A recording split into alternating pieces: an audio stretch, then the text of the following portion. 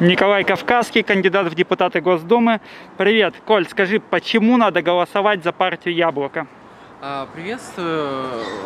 За партию Яблоко надо голосовать, потому что это единственная демократическая партия, которая осталась, у которых есть свои кандидаты, а, которая заявляет э, жесткую антипутинскую позицию, выступает за отмену всех репрессивных законов, за освобождение политических заключенных, э, против Путина, против всей этой системы, против пыток и так далее.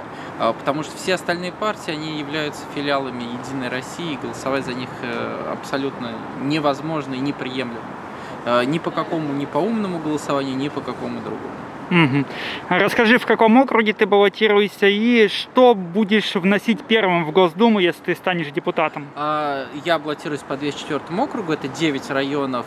А, Вишняки, Косино-Ухтомский, Новокосино, Некрасовка, Перово, Новогиреево, Рязанский, Нижегородские текстильщики. Ну, естественно, я буду требовать отмены всех репрессивных законов, Э, который сейчас существует. Я буду вносить законопроект об э, амнистии для политических заключенных, как первый шаг, естественно, амнистии, а потом, конечно же, полная реабилитация и выплата всех э, компенсаций за это. Если мы берем там социальную часть, то это, понятно, отмена закона о пенсионном возрасте, то есть возвращение к тому пенсионному возрасту, который был, это Э, увеличение социальных расходов э, и урезание этих расходов в, в отношении военных, полицейских и так далее, потому что я выступаю за социальный бюджет. Э, собственно, инициатив очень много, их можно вот просто взять тут, перечислять очень-очень-очень долго. Но если брать, допустим, экономическую часть, то я за справедливое прогрессивное налогообложение, не за плоскую шкалу, которая существует сейчас.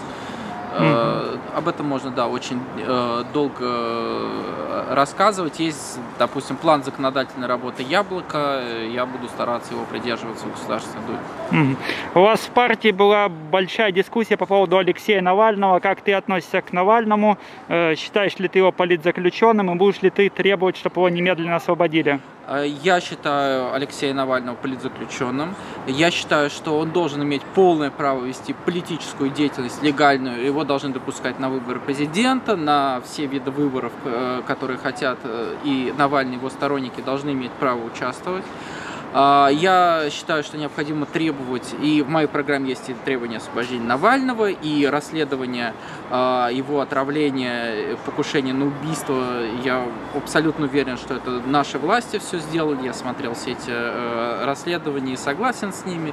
А, Мое личное отношение я готов его э, выразить, потому что Навальный, несмотря на то, что он сидит в тюрьме, он является политическим деятелем, политиком, он является моим политическим оппонентом. У меня другая политическая программа по многим э, вопросам, по вопросам прав мигрантов, по там, какому-то демократическому переустройству, как мы это видим, по там, социальным вопросам, может быть, разные Э, позиции. Поэтому я надеюсь э, конкурировать с Алексеем Навальным на честных выборах. Спасибо.